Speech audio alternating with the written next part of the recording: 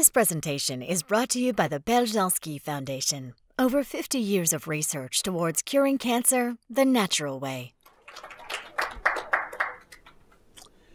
Before I begin, does everyone here know what a telomere is? Anyone who doesn't? Fantastic.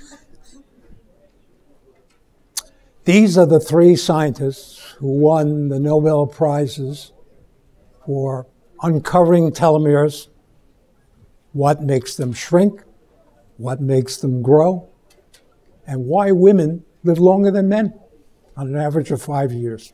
Also, what we can do about maybe changing those statistics.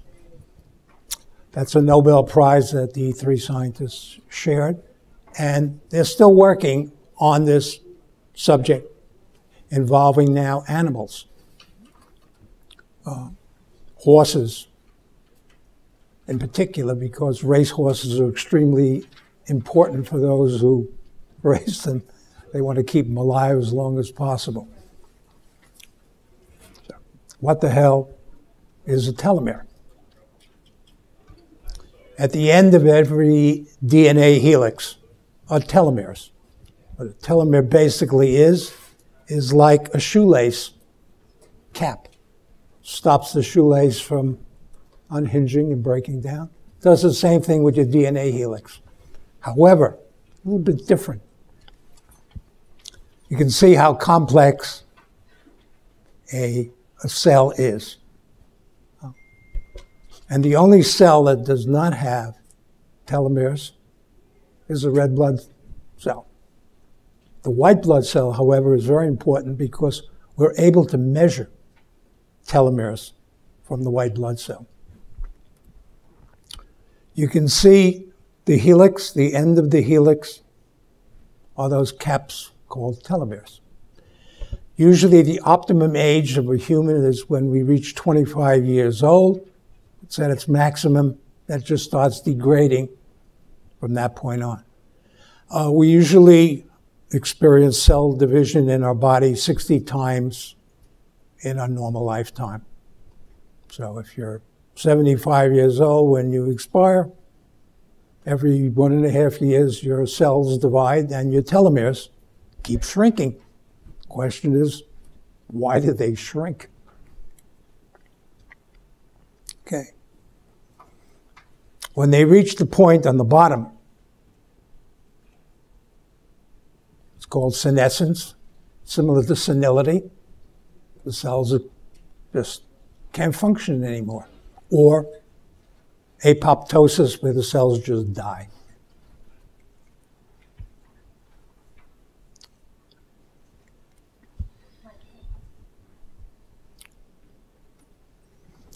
They found out that the scientists discovered there's an enzyme called telomerase.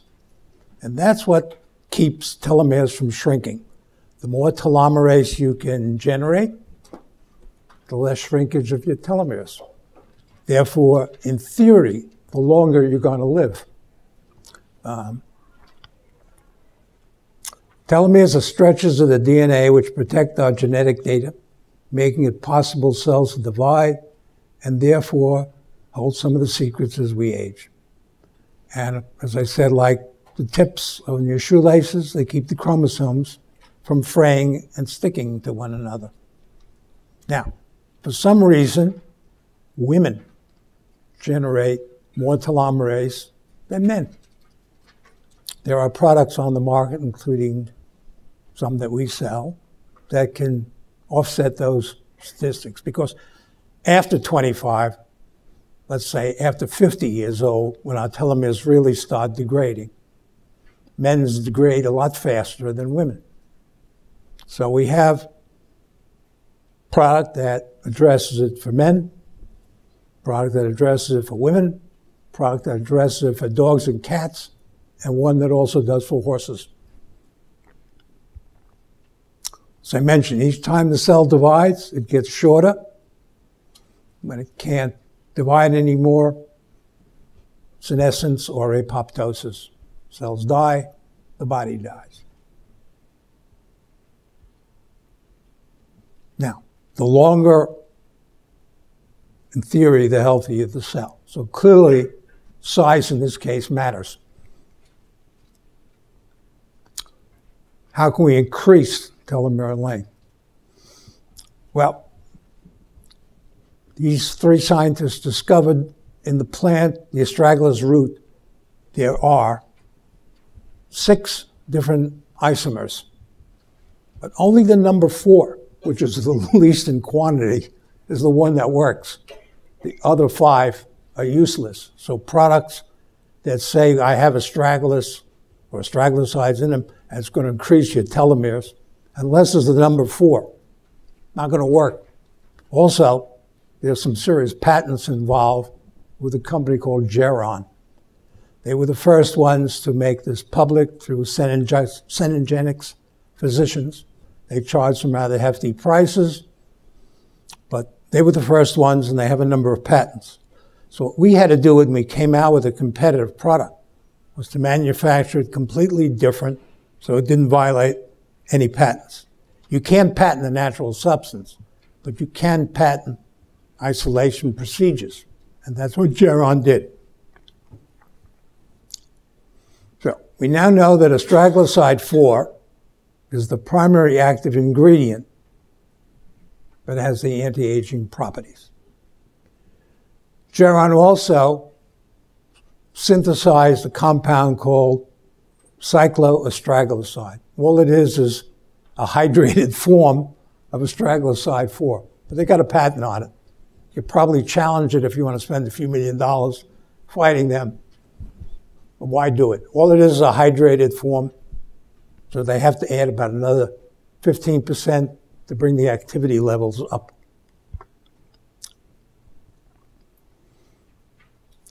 Now, our product is called TeloMore.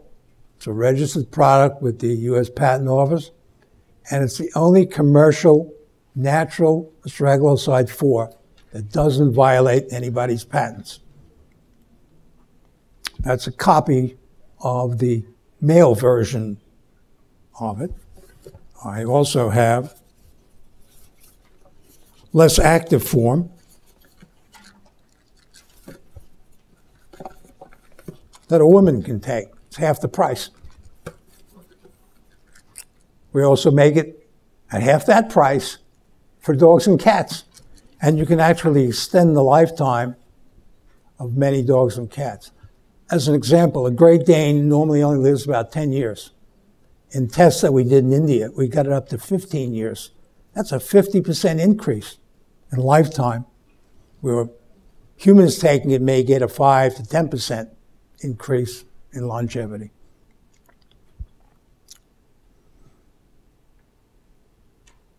Yep. Wrong one. I went back. This just describes how our company uh, has produced this. And these are some of the other products that we uh, manufacture.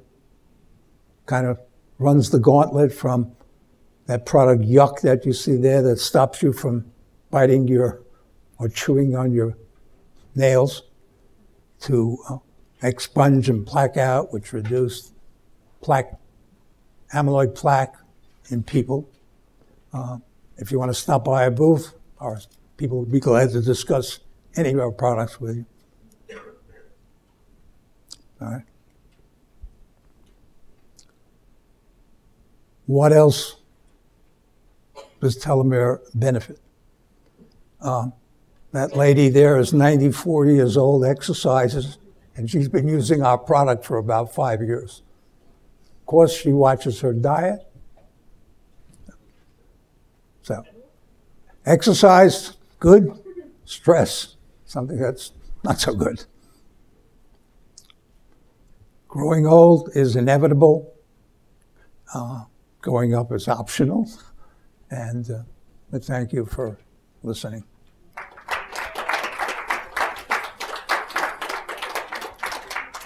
If there are any questions I can answer in the meantime, I'll be glad to try. Yes.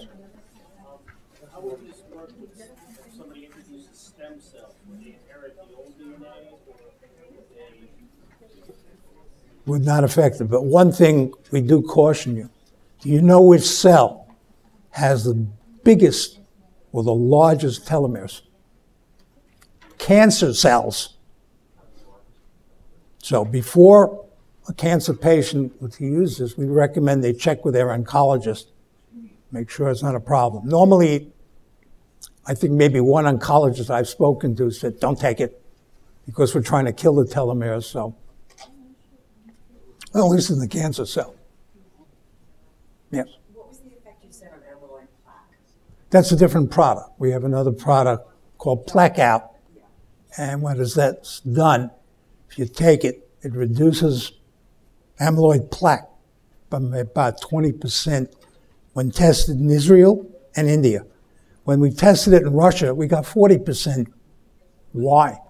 Because the Russians take it with vodka and it's all soluble in the ingredients, goes through the blood-brain barrier, makes its way to the plaque. Amyloid plaque is one of the major either causes or effect of Alzheimer's. So if you have it in your family, it's a good product to use as a preventive and treatment. Yes, it's plaque that develops in the brain. And you want to get rid of that plaque if possible. Are neurologists accepting of that, or they are not familiar with the product? No, the product has just come out. We were trying to get the government to flex a little bit by letting us mention, why don't you enhance the property of it by taking it with wine, beer, It's under Bureau of Alcohol, Tobacco, and Firearms, and you can't deal with the bureaucrats. Don't even try. Yes. So my question is related to the cancer question. Somebody's on chemo then. No, you should check first with your oncologist and say, look, I want to take this. I've been told it's not a problem, but I want your blessing before I take it. Because what they're trying to do is kill the telomeres in the cancer cells. Okay? Yes? The cancer cell is so large and the telomere so far nobody has seen it shrink. The only way it shrinks is through chemotherapy by killing the cell. No.